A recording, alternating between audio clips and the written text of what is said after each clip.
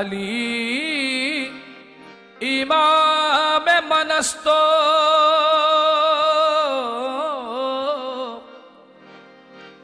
मनम आदाब, अपना दर्पण में आपका इस्तकबाल है। आज हम बात करेंगे कोहे मौला अली की, दुनिया की सबसे ऊँची दरगाह। लगभग 600 साल से अक़ीदतों का बड़ा मरकज़ है। ज़ात, धर्म की सरहदें मिट जाती हैं यहाँ। मन्नतें, मुरादों की गठरी लादे, दुनिया भर के अक़ीदतमंद लंबा सफ़र और चार सौ चौरासी सीढ़ियाँ तय करते हुए 615 मीटर ऊँची मौला अली की इस मुक़दस ड्योढ़ी तक पहुँचते हैं। कोहे मौला अली से बहुत से चमत्कार जुड़े हैं। हैदराबाद से कहीं पुराना है इसका इतिहास।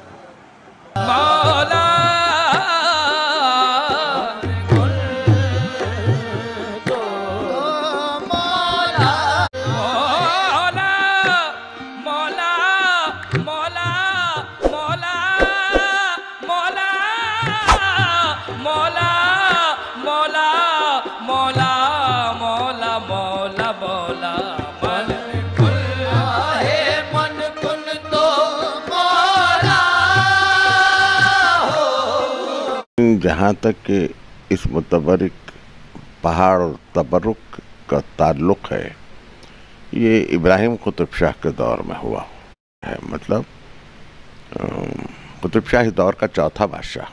1580 तक उसका दौर हुकूमत है। मैं जो आपसे बात कह रहा हूँ, ये 1578 की है। यानी उसके इंतकाल से दो साल पहले। उसका काजा सरा था, उसका नाम था याकूत। बहुत बीमार था। उसकी शिफा की कोई उम्मीद नहीं थी।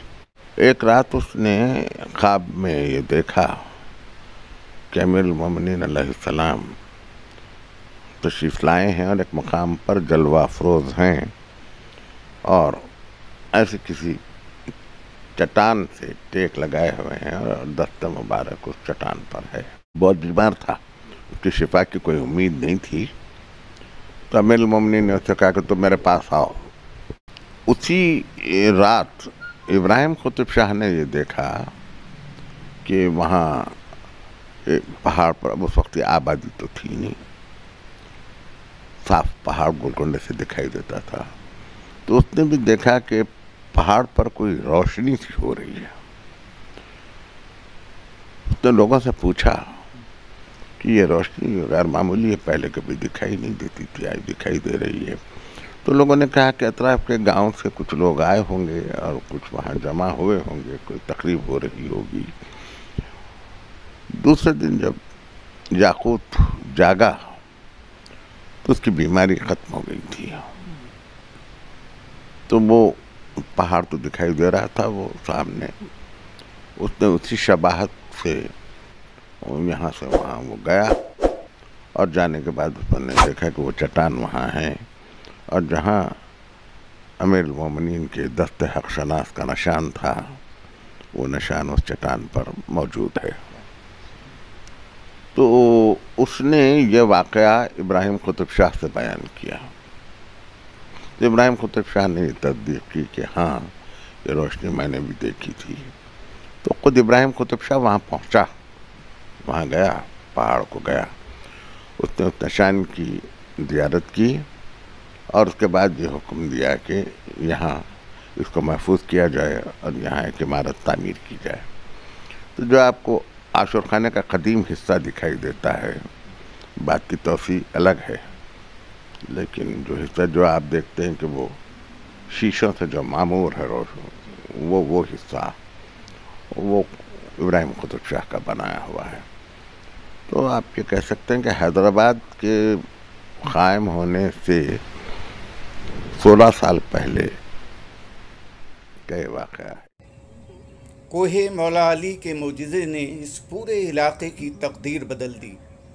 पंद्रह सौ इक्यानबे में सुल्तान कुली कुतुब शाह ने यहाँ एक नया शहर बसाया और इस मुजज़े की मुनासिबत से उसका नाम हैदराबाद रखा।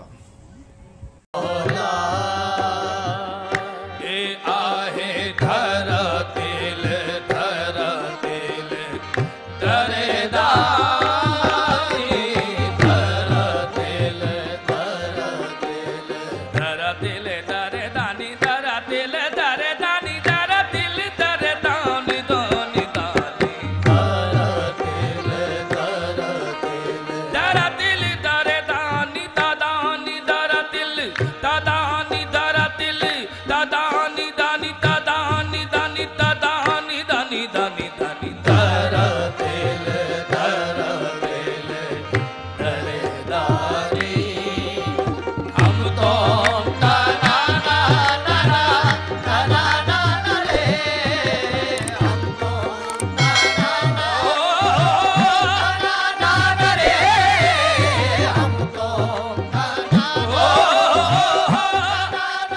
यूँ तो साल भर यहाँ अक़ीदतमंदों का हजूम लगा रहता है, पर तेरह रजब को तो जैसे तमाम रास्ते कोहे मौला अली की तरफ़ मुड़ जाते हैं। नबी ने ये फरमाया, हैदर हैदर कर।